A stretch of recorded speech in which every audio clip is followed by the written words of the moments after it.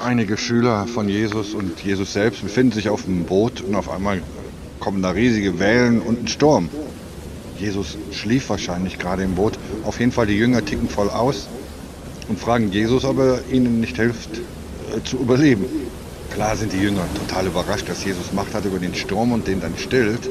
Aber dann kriegen sie noch einen Schlag vor ihrem persönlichen Bug. Habt ihr keinen Glauben? Wo ist euer Glaube?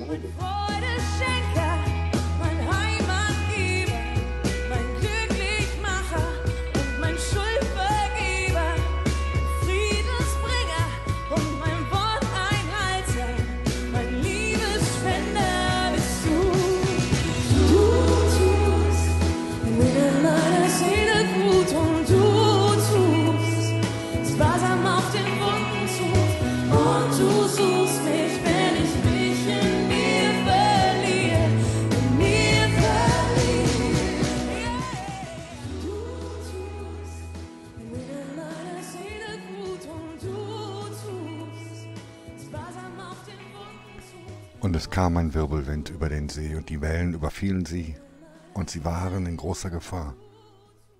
Da traten sie zu ihm und weckten ihn auf und sprachen, Meister, Meister, wir kommen um. Das war doch genauso, wie es uns immer gesagt wurde. Dann bete doch zu Gott. Das haben die Jünger gemacht. Naja, alles richtig, oder?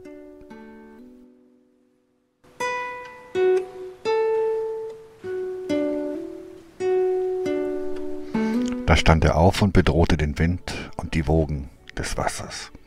Und sie legten sich, und es ward eine Stille. Er sprach aber zu ihnen, Wo ist euer Glaube? Sie fürchteten sich aber und verwunderten sich und sprachen untereinander, Wer ist dieser, dass er auch dem Wind und dem Wasser gebietet, und sie sind ihm gehorsam? Demnächst will ich schwimmen, als Ausdauertraining beginnen, aber stellt euch vor, ich springe ins Becken, könnte nicht schwimmen und am Beckenrand stehen die Leute und fragen, wieso schwimmt er nicht? Gebet und Flehen und Danksagung soll mit mir zusammen Beziehungsstandpunkt vor Gott sein, sagt Paulus und Tasus, dann wäre man sorgenfrei. Also in Kurzform, warum sorgt ihr euch? Ist das die Sorte von Fragen in den Worten? Wo ist euer Glaube von Jesus an die Jünger? Ist das diese Sorte von Fragen? Warum sorgt ihr euch? Wo ist euer Glaube?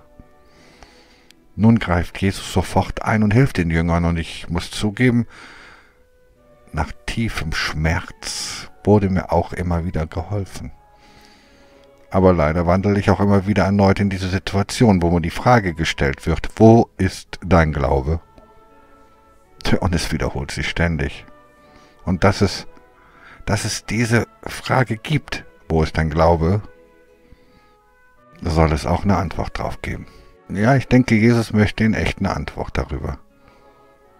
So wie manchmal meine Herzhauspartnerin zu mir sagt, wenn ich wieder mal drumherum philosophiere, beantworte doch bitte einfach nur die Frage. Jesus stellt die Frage so, als ob der Glaube bei jedem Menschen da sein sollte.